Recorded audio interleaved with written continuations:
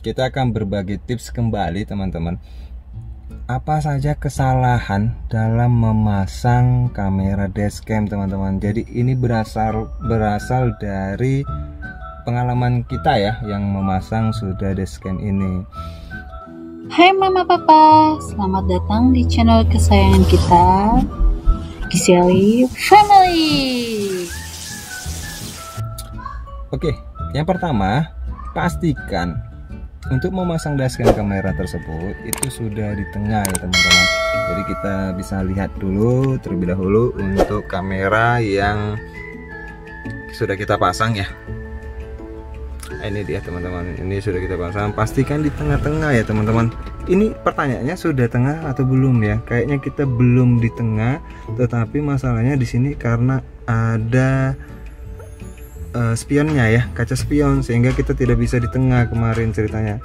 Uh, kita bikin di sini ke tengah. Kenapa nggak bikin ke tengah sini? Karena ketutup nanti kameranya jadi kita agak kepinggirkan teman-teman.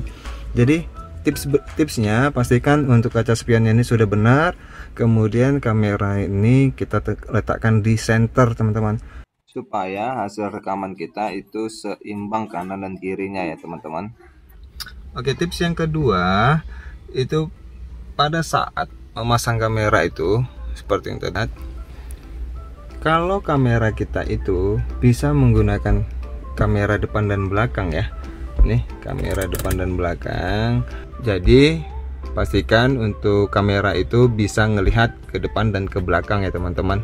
Jadi kita tidak mengalami kerugian ya yang tadinya fungsinya bisa dua arah tetapi kalau ketutup sama spion ini jadi kita nggak bisa menggunakan daripada kamera tersebut tidak berguna untuk fungsinya teman-teman. Oke tips yang ketiga teman-teman ini mom eh, ini pengalaman kita pribadi yang perlu kami sharekan kepada teman-teman jangan sampai mengalami hal yang sama yaitu memasang kameranya di atas daripada wiper. Nih wiper ya teman-teman. Lihat nih.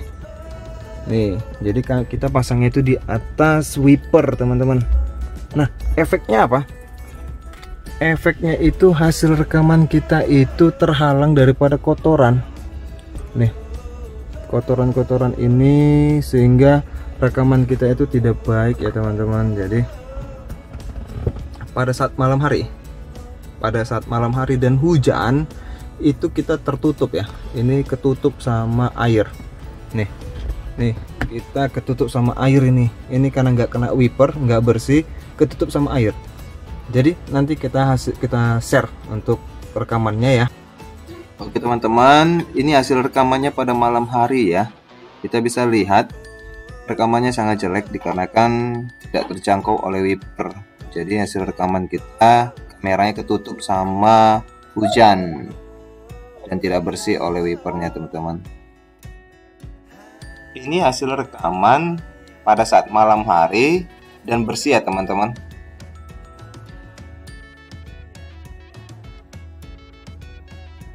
Nah yang berikutnya itu pada siang hari siang hari itu ketutup sama kotoran teman-teman. Nih kotoran ini kita lihat ada kotoran-kotoran tidak bersih hasilnya juga jelek nantinya. Semakin sering kita gunakan mobil kalau banyak kotorannya semakin tidak kelihatan hasilnya teman-teman. Jadi pastikan untuk memasang kamera ini di bawah ya teman-teman ya. Ini di bawah wiper. Di bawah wiper di bawah wiper. Tapi pastikan lagi ya teman-teman kembali ke nomor satu nomor dua ya. Dia tidak kalau dia mempunyai dua fungsi dia bisa ngeliat ke belakang. Tapi kalau memang hanya kita fokuskan ke depan ya kita letakkan saja di sini supaya dia fokus ke depan seperti itu ya teman-teman. Jadi itu teman-teman yang perlu kami sharing. Yang terakhir itu sangat bermanfaat sekali ya. Itu pengalaman kami kalau mau ngelihat hasil rekamannya kalau pada malam hari dan hujan itu nggak kelihatan sama sekali teman-teman jadi pastikan untuk kameranya diletakkan atau terjangkau oleh wiper teman-teman oke Demikian untuk sharing dari kami ya teman-teman Gisali Family. Jika ada masukan ataupun saran silahkan di komen ya teman-teman. Jadi kita berbagi informasi apa pengalaman-pengalaman kalian supaya kita bisa share berbagi informasi ini kepada teman-teman yang lain supaya tidak mengalami kerugian yang sama kepada kita-kita itu. Jadi berbagilah ilmu ataupun pengalaman kita kepada orang lain. Demikian sampai jumpa kembali.